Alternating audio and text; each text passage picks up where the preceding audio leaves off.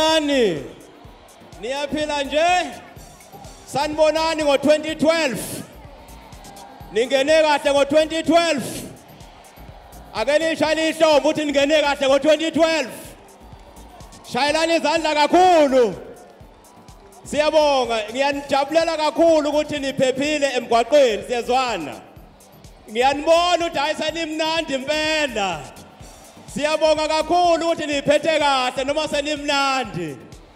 Ngakho-ke bonke abantu abaphuza bese beyongena emgwaqweni sithi phansi ngokudakelwa emgwaqweni phansi.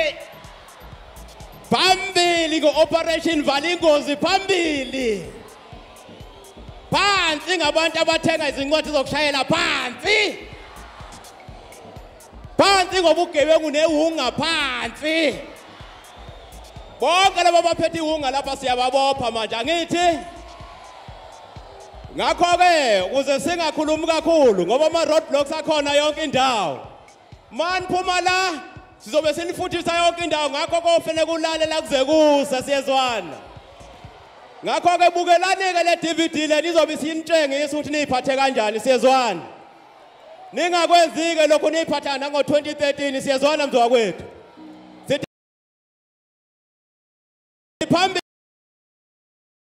ngomngeni wesiphaliti phambili siyabonga kakhulu Zix Bundy. Shake your bum bum. Over